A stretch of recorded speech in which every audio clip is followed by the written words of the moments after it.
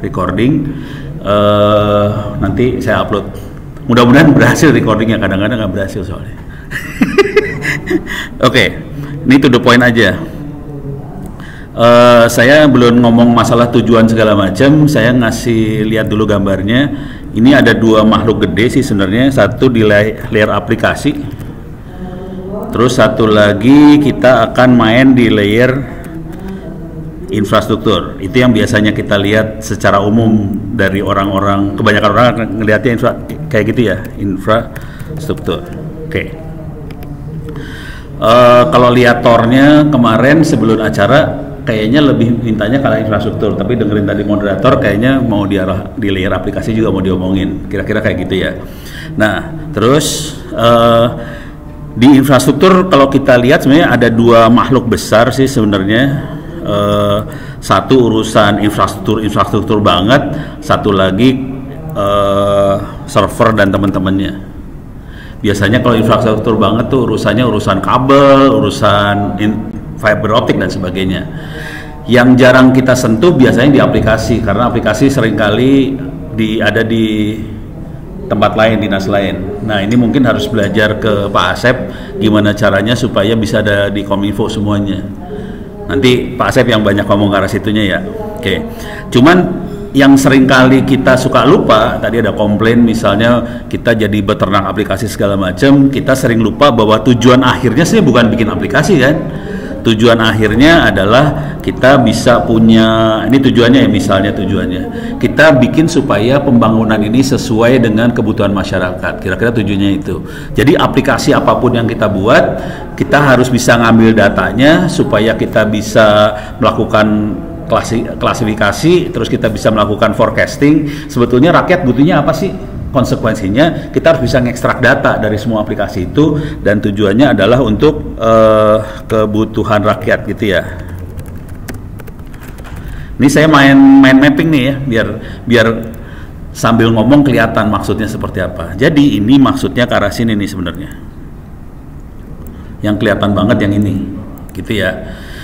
Yang sering kita tidak bahas biasanya dikerjakan oleh teman-teman yang lain adalah prosedur, aturan dan sebagainya. Jadi di sini ada proses, prosedur dan sebagainya. Oke, satu lagi yang sering kita lupa dan ini fatal banget biasanya manusia. Asli ini banyak dilupain SDM.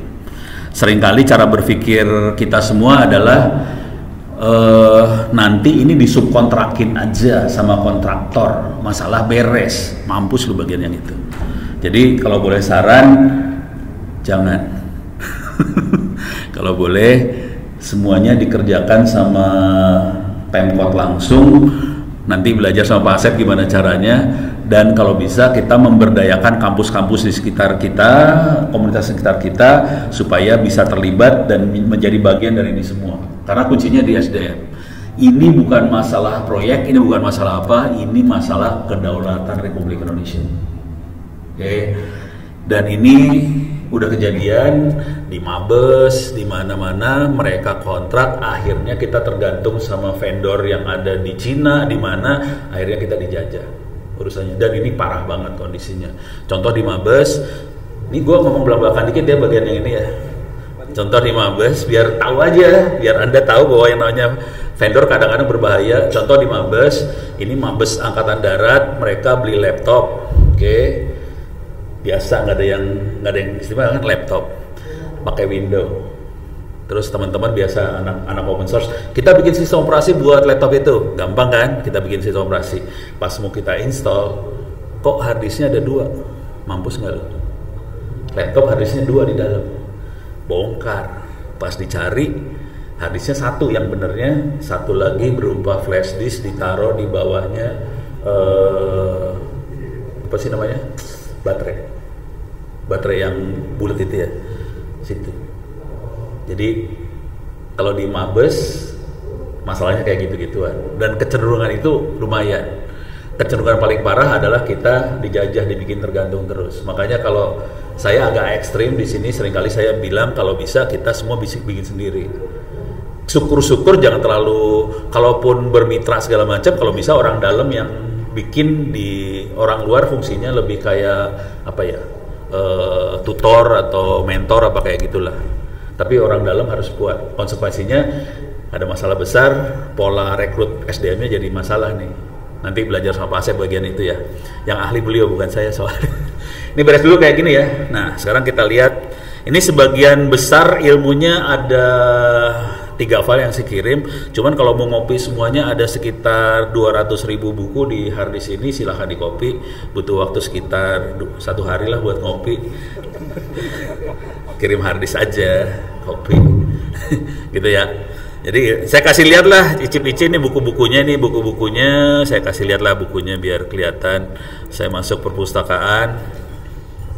Uh, masuk ke buku terus misalnya apa? In, in, artificial intelligence ini buku tentang uh, artificial intelligence kita bisa klik salah satu ini saya klik sembarangan aja ya. Uh, ini 2013 kayak gini sih. Jadi ini buku-bukunya nggak nggak akan saya taruh di internet karena jujur saya dapat semua buku ini nyolong dan saya kopikan gratis buat seluruh bangsa Indonesia supaya pintar itu aja. Cuman masalahnya biasanya mereka komplain. Ada yang bahasa Indonesia nggak pono, ah mati gue. Dah beres ya, sip, dah. Referensi bisa di copy. Nah sekarang kita akan masuk ke pola gedenya dulu sebelum masuk ke lebih detailnya. Yang ini tadi dari kasih lihat sama panitia. Ini paper saya yang minta teman-teman BPK sama BPKP Oke, BPK BPKP melakukan audit uh, ke program-program pemerintah, terutama lebih ke audit keuangan awalnya. Kemudian mereka pengen hasilnya buat masukan ke pemerintah programnya seperti apa, kira-kira gitu.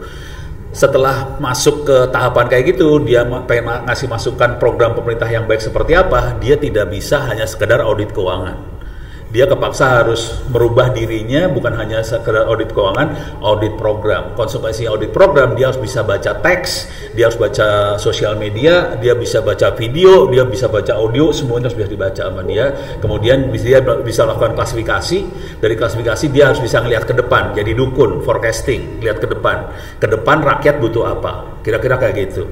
Teknik ini juga dipakai sama startup dan sebagainya. Ini saya kasih lihat aja polanya seperti ini aja sih sebenarnya.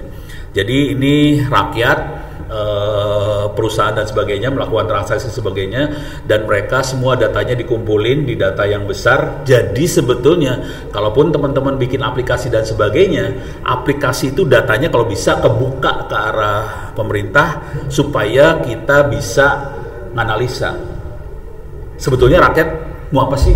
Rakyat butuhnya apa sih? Rakyat yang butuh bantuan seperti apa sih? Dan itu harus kebuka di sini. Ini saya coba gedein ya mudah-mudahan kelihatan. Jadi intinya kita melakukan mata-mata terhadap semua kegiatan yang dilakukan di bawah. Hasil mata-mata itu di, dimasukin ke data yang besar.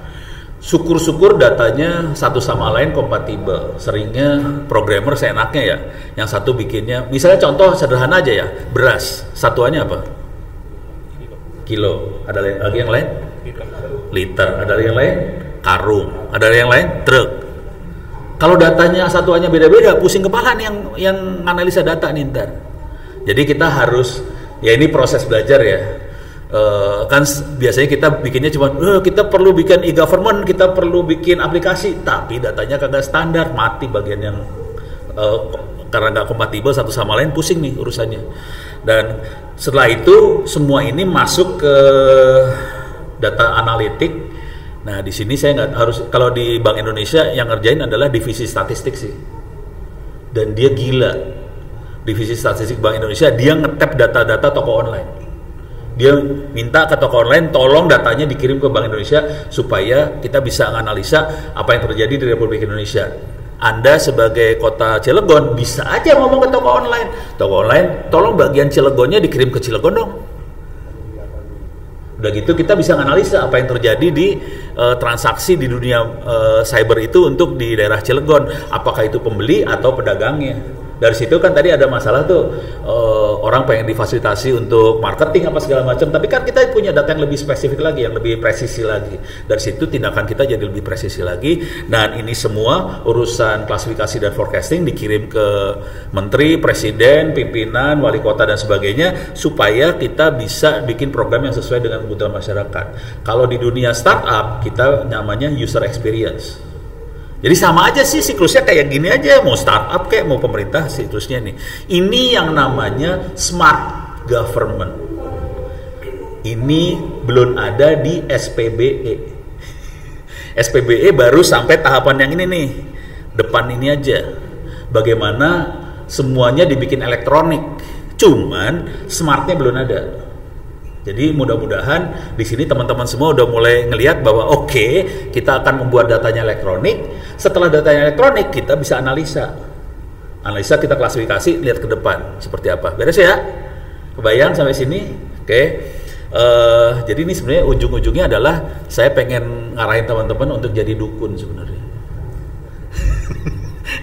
karena kita pengen lihat ke depan seperti apa. Dan ini dilakukan sama Google dan sebagainya. Semua jadi dukun sih sebenarnya.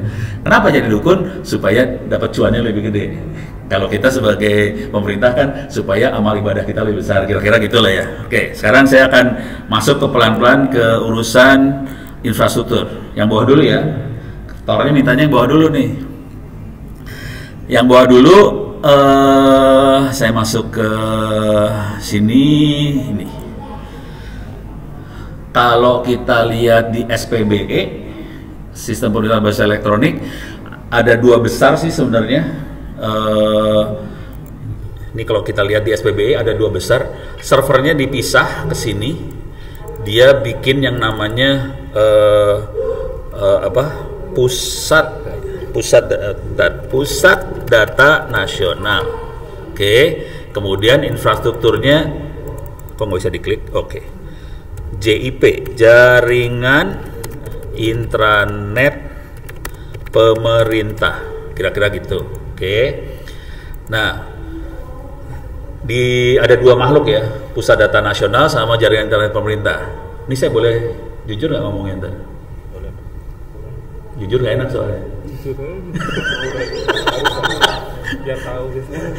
Jujur dulu ya. Kok Jujur dulu, Koinfo yang sana bikin proyek pusat data nasional. Jadi mereka ya bikin bangunannya, ya bikin data centernya, nggak punya orang. Jadi mereka lupa di manusia, manusianya. Jadi mereka nggak punya orang buat ngoperasiin. Konsekuensi yang terjadi kalau nggak ada orang buat ngoperasiin, kalau ada apa-apa, selamat dulu. Jadi kalau kita lihat plan B-nya, walaupun di aturannya si kementerian lembaga daerah itu nggak bisa bikin pusat data nasional, kalau boleh saran, sini bikin. Belajar sama Tangsel. Jangan 100% berasumsi bahwa Kominfo sana punya pusat data nasional, udah gitu semua data taruh sana. Nanti ada masalah berapa urusannya. Oke, saya cenderung lempar di sini. Jadi saya, ini buat PDN-nya. Sekarang untuk jaringan intranet pemerintahnya. Cara berpikirnya kira ini agak ini saya merasa berdosa sedikit karena salah satu yang bikin kajiannya saya juga sih. Oh, ada namanya Ono di situ. Jadi jadi punya masalah saya di sini. Pelaku. jadi saya tahu masalahnya sih sebenarnya. Jadi ini karena di, di, dipaksa sama dirjennya dipaksa. Gua pengen supaya uh, jaringan pemerintah tuh di dalam pemerintah aja kalau mau keluar ngasih layanan ke masyarakat lewat ke atas, lewat pusat dari kalau dari Cilegon masuk ke provinsi Banten, dari provinsi Banten masuk ke pusat Kominfo, terus masuk ke data center, baru ke internet, terus baru ke rakyat Tangsel. Stres nggak kayak gitu? Saya stres.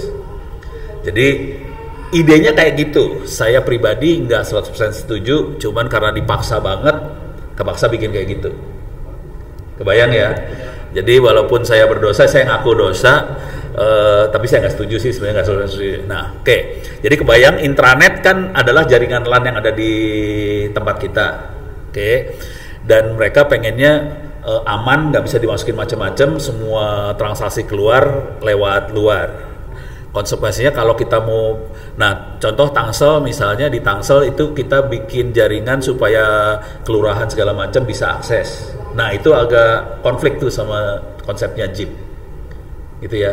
Tapi kalau kita buat layanan masyarakat lokal aja kayak di Tangsel kita bikin inilah contoh aja contoh dikit aja. Tangsel belajar. Ini eh sorry salah. Ada slashnya lagi. Slash model ini free. Jadi anak-anak SD kelas 1 sampai kelas 12 bisa belajar tryout, uji coba soal dan sebagainya free lewat wifi yang digelar sama Tangsel. Ini kan lokal. Kenapa kita harus lewat Jakarta dulu baru masuk ke rakyat Tangsel pasang wifi. Jadi kalau buat saya kayak gini eh, nggak uh, apa-apa. Tapi sarannya jangan terlalu dibuka ke internet soalnya nanti ada ransomware virus segala macam masuk apalagi nanti ada apa judi ada ada kayak gitu pada apal semua ya di sini kena sini kena slot juga ya oke okay. yaudah itu satu jadi ada masalah walaupun saya nggak terlalu setuju. Nah terus di sini kalau kita lihat di daftar isinya, saya akan lihat daftar isinya saya nggak akan masuk ke dalam ya. Oke, ini tinjauan pustaka nggak usah. Arsitekturnya kira-kira yang tadi uh, apa? Ada. Nah, terus satu yang didorong banget adalah IP versi 6. Oke. Uh, tidak banyak di Republik ini yang bisa mengoperasikan IP versi 6. Salah satu yang berhasil operasional Tangsel. Jadi waktu itu kita ngelihat empat. Uh, Keuang DebCube, terus DKI, Diknas, dan Tangsel. Dari empat, yang lebih versi namanya jalan, cuma Tangsel. Parah sih sebenarnya. Agak nger gimana gitu, nggak enak juga sih. Yang seru adalah Diknas punya dua alokasi API versi 6 nggak jalan. Dan ini masukan buat operator, Telkom dan teman-teman yang lain, tolong API versi 6 ini jalanin. Karena ini jadi syarat utama supaya jaringan internet pemerintahnya jalan tuh IP versi 6 gitu ya. Ini sambil gua rekam gua upload nih biar enak kan maki-maki orang.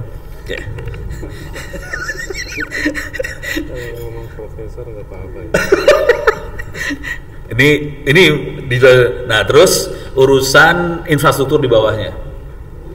Jadi misalnya dari dinas kominfo masuk ke kelurahan-kelurahan mereka sarannya pakai MPLS sih Cuman MPLS itu biasanya operator banget. Kalau saya pribadi, yang Anda merasa nyaman dan Anda merasa aman, gitu aja sih. Uh, kita pilih kalau di level nasionalnya ada dua pilihan besar MPLS sama pakai SD1. Cuman SD1 ada masalah karena SD1 kita tergantung vendor nanti. Kalau kita kunci ke satu vendor ya udah semua alatnya vendor itu semua jadi kita jadi kekunci banget. Kalau MPLS semua router macam-macam merek bisa ngomong satu sama lain jadi MPLS lebih enak sebetulnya. Ini buat jaringan yang besar banget. Tapi kalau untuk level kota seperti kota Cilegon yang ujung ke ujung mungkin 10 km kali ya. Ini jadi agak nggak masuk akal sih pakai MPLS. Kira-kira kayak gitu. Saya mendingan pakai media yang ada, apakah itu WiFi, apa fiber optik, terus kita jalanin OSPF, saya udah happy. Cuman kita harus hati-hati di urusan security-nya aja jadi enkripsi harus dijalanin. Kira-kira kayak gitu. Beres ya? Uh, poin gedenya itu kayaknya yang gede banget. Ini harus ada ISO 27001. Nah, poin yang satu lagi adalah di manusia sih sebenarnya. Nah, ini udah, ini udah uh, manusia, manusia, manusia ada di bawah kalau nggak salah. Ini dia manusianya, ini manusia. Kita perlu invest di NOC sama SOC masalahnya di orang akhirnya.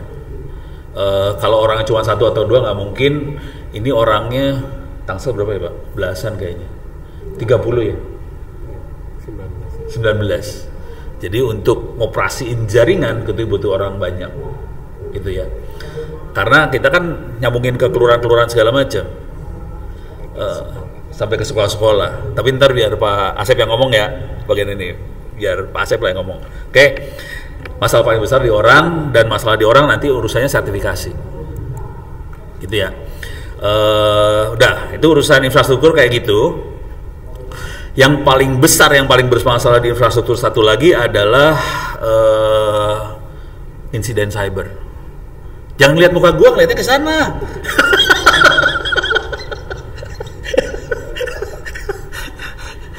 Masalah paling besar yang satu lagi adalah insiden cyber. Kita punya contoh kemarin uh, imigrasi, paling dekat tuh imigrasi, sebelum imigrasi Dukcapil kalau nggak salah, uh, BSI yang lebih parah lagi. Oke, okay. nah yang paling parah dalam proses terjadinya insiden cyber adalah kalau saya perhatiin cara anda-anda bereaksi. Pas ada insiden, reaksinya adalah uh, nutup atau uh, bersihin yang apa yang rusak okay? tapi tidak berusaha mencari kerusakannya di mana. Yang bikin rusak tuh apa sih? Gitu ya. Nah di sini ini bu, buku ini bagian dari kuliah sih sebenarnya. Kuliahnya ada di uh, ada di sini bisa diakses opencourse.itts.ac.id di dalam open course ITTS ACID ada kuliah cyber security. Oke. okay.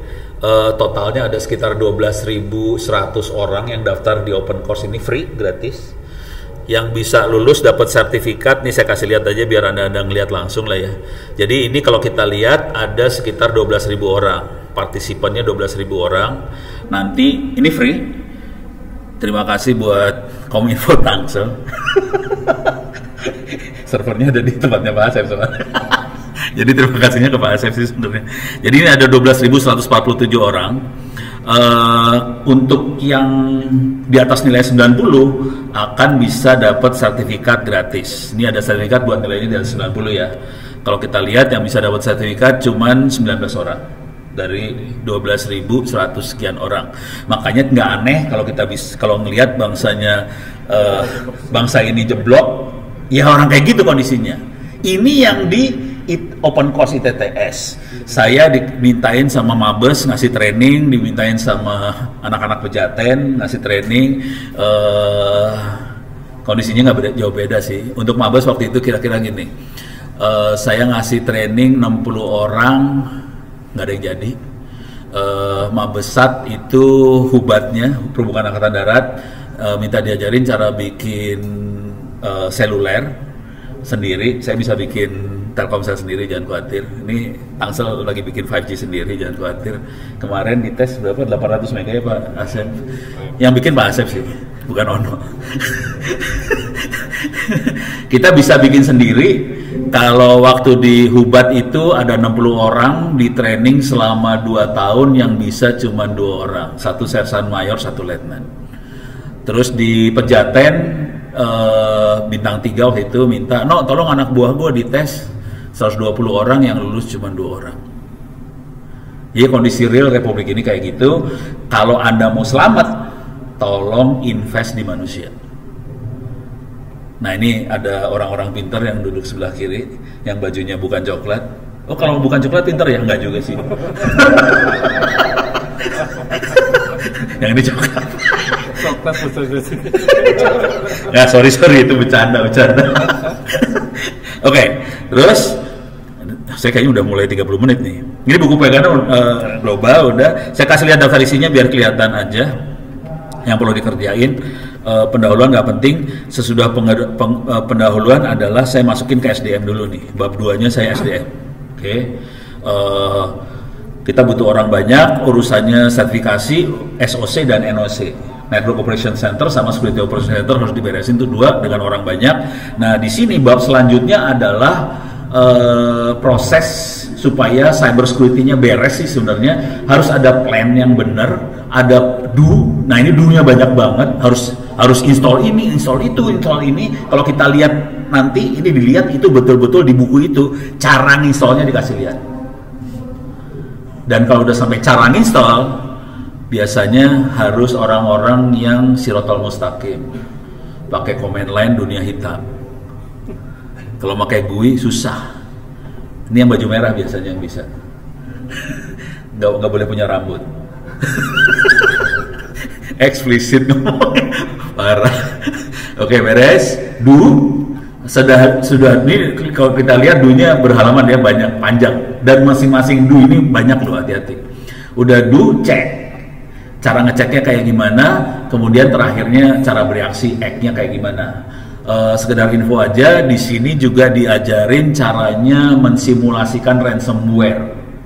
Jadi ada ransomware yang bisa kita ambil free, Anda bisa, eh nggak free sih kalau ransomware ini, harus bayar dikit lah. Yang bikin anak-anak ini, anak-anak Bandung, ini anak-anak cyber army yang bikin, Giri, Girindro, Dikdo, ini yang bikin ini ada ransomware simulator, kita bisa uh, bayar dikit ke dia, udah gitu kita ambil ransomware-nya, ransomware-nya disebarin di jaringan, dan kalau komputernya kena, di encrypt beneran itu filenya. Kalau Anda tahu yang namanya ransomware, semua file itu akan diambil, dikopiin ke yang nyerang. Jadi yang nyerang akan punya kopinya dari filenya kita. Jadi nggak aneh, BSI datanya keambil. Sampai hari ini sebetulnya belum selesai sih urusannya. Kira-kira gitu ya. Jadi ini semuanya disimulasikan dan uh, ada bukunya. Nah, sekarang yang terakhir, smart government. Uh, ini semuanya kalau nggak salah saya kopiin ke panitia sih. Ada mudah-mudahan udah nyebar juga. Nah yang ini saya tulis tiga jam doang. Jadi waktu saya nulis ini saya pikir waktu ke Cilegon ini kayaknya mereka saya nggak baca tor soalnya kurang ajar ya saya nggak baca tor. Cuma dapat undangan datang. Kayaknya orang Cilegon pengennya smart government lah. Gua nulis lah. Pas baca tornya oh mintanya infrastruktur. Ini udah ketulis ya udah. Saya kira cuman ini buku yang ditulis dalam waktu tiga jam totalnya 40 sekian halaman doang. Uh, tapi ini adalah uh, cara berpikirnya yang tadi. Bagaimana kita main data science untuk bisa melakukan prediksi ke depan uh, program apa yang cocok buat kita lah kira-kira kayak gitu di sini ada penjelasan untuk bagaimana uh, ada tip dan trik supaya sebuah smart government berhasil seperti apa dan yang terakhirnya adalah studi kasus untuk analisa data. Ini jujur Pak Asep, ini datanya datanya Pak Asep sih sebenarnya. ini yang terakhir ini adalah yang di Tangsel Pay. Ini kerjanya Pak Asep nih sebenarnya. Saya kasih lihat dikit aja ya yang Tangsel Pay ini. Ini minta maaf bahasa Inggris soalnya ini sebenarnya uh, kopian dari draft paper jurnal jadi bahasa Inggris. Nanti saya terjemahin ke bahasa Indonesia jangan khawatir. Ini karena kopi pasti cepat. Tapi poinnya kira-kira gini kalau kita bisa dapat datanya ini datanya data payment ya data pembayaran semuanya. Ini datanya sih kayak gitu ya titik-titik banyak banget ini titik-titik banyak banget ini ada titik banyak ini ada titik banyak, ini ada titik banyak. Tapi poinnya, saya waktu melihat data ini saya juga bingung apa gitu kesimpulannya. Kesimpulannya sederhana sih sebenarnya. Setelah saya regresi pakai linier, semua garisnya positif gradiennya. Ini positif semua naik ke atas. Jadi kesimpulannya sederhana sih sebenarnya. Jadi ternyata dari monitoring Tangsel Pay ternyata bahwa ekonomi Tangsel naik udah gitu aja sih kesimpulannya. Cuman kan uh, kita harus ngelihat datanya. Kalau ngelihat gini doang bingung. Tapi pas diregresi kelihatan. Gitu. Itu poin besarnya mudah-mudahan saya nggak bablas banget. Terima kasih banyak. Kalau ada apa-apa silahkan email saya. Emailnya onno at indo nah, saya tulis dah biar kelihatan. Uh, gedein ya. Bentar. saya gedein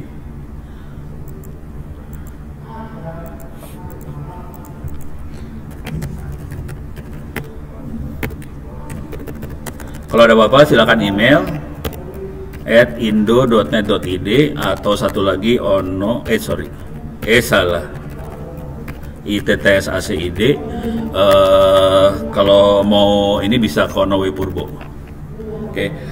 kalau teman-teman pengen ngopi perusahaan saya silahkan nanti koordinasi uh, kirim harddisk bayarnya gampang semua bayarnya pakai doa habis sholat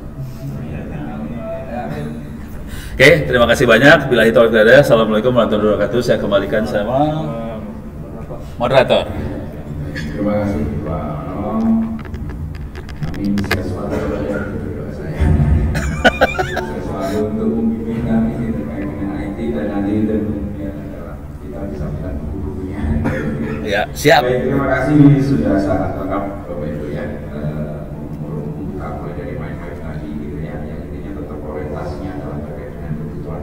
seperti itu ya itu ya perangkat daerah kan apa mohon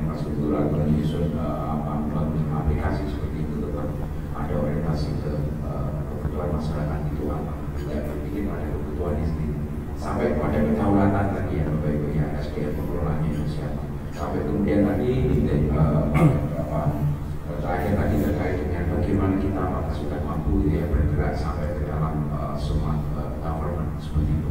Nah ini kaitannya dengan smart uh, government tentu saja gitu ya atau pergeseran tadi ya Bapak Ibu dari IKAF gitu ya ke dalam smart government. Saya kira ini langsung saja gitu ya. Uh, namun saya mempersilahkan uh, narasumber yang kedua dari sisi uh, praktisi bisa menceritakan praktek gitu ya Pak ya Eh, praktek baiknya seperti apa yang sudah dijalankan di kota Oh, eh, sana. Selatan gitu ya baik, baik itu dari sisi Pemda sendiri maupun bagaimana kemudian membangun gitu ya, membangun eh, kolaborasi dengan eh, apa, pemangku kepentingan lain yang eh, terkait gitu ya. yang kemudian nanti bagaimana potensinya untuk kemudian eh, kita replikasi replikasi di eh, kota eh, Cilegon seperti itu baik langsung saya persilahkan eh, kepada Pak apa, Kepala Dinas Kominfo Kota eh, Tangerang Selatan untuk memaparkan eh, pandikannya materinya yang nanti kemudian akan ditangkap oleh seluruh eh, peserta. Terima kasih. Silakan. Pak. Oke, terima kasih. Bismillahirrahmanirrahim. Selamat pagi, Assalamualaikum warahmatullahi wabarakatuh. Waalaikumsalam. Ya, kami hormati, kami guru kita, Besar Prof. Onowe Purko. Saya izin tidak berani saya kalau semeja dengan beliau mendahului beliau. Karena beliau ini bukan hanya sebagai guru dan kita dan banyak sekali eh, beliau ini membantu kami khususnya Tangerang Selatan. Jadi izin Prof, saya tidak cukup berani untuk memulai terlebih dahulu. Seperti yang sering beliau sampaikan ke saya bahwa jabatan itu pada akhirnya itu tidak terlalu penting. Yang terpenting itu adalah bagaimana kita bisa bermanfaat bagi orang lain. Itu yang saya selalu belajar dari beliau selama ini. Dan beliau banyak sekali membantu di Tangerang Selatan, bukan hanya dari sisi birokrasi, tetapi juga apa yang tadi disampaikan oleh beliau. Itu yang kami rasakan manfaatnya luar biasa besar. Yang berikutnya kepada panitia khususnya moderator serta bapak dan ibu sekalian dan di sini ada sahabat karib saya juga kawan terima kasih atas undangan dari bapak ibu sekalian. Selanjutnya perlu kami sampaikan beberapa hal sebetulnya kalau bicara eh, terkait dengan layanan publik Cilegon ini kalau kami memotret dari luar sebetulnya sudah bagus karena Cilegon adalah salah satu daerah yang SPBI belum keluar, Cilegon sudah punya perma SPBI. Ini canggih gitu, Bro. Jadi jangan-jangan permen atau perpres SPBI itu nyunturnya dari kota Cilegon. Artinya apa? Inisiasinya sudah sangat luar biasa. Ya. Sehingga beberapa daerah, khususnya kami, ketika saya diundang untuk memaparkan ini, sebetulnya jujur saya tidak terlalu percaya diri untuk menyampaikan apa yang terjadi di Tangerang Selatan, khususnya di Kota Cilegon ini. Kota Cilegon itu menurut kita punya inisiasi yang luar biasa. Jadi ini bentuknya sekali lagi mohon izin panitia ya, serta teman-teman sekalian ini sekali lagi bukan menggurui bukan tapi justru saya yang belajar di sini. Nah, izin menyampaikan beberapa hal sesuai dengan tema yang disampaikan atau diberikan kepada saya khususnya terkait dengan agenda kita pada hari ini. Saya mencoba memotret melihat kota Cilegon dari kota Tangerang Selatan. Artinya kami yang dari luar pemerintah kota Cilegon. Yang pertama ini saya perlukan ini juga dari teman-teman yang khususnya di kota Cilegon lebih paham, lebih tahu, akan lebih menguasai dari gambaran kondisi kota Cilegon. Ini sekali lagi hanya potret yang kami temukan.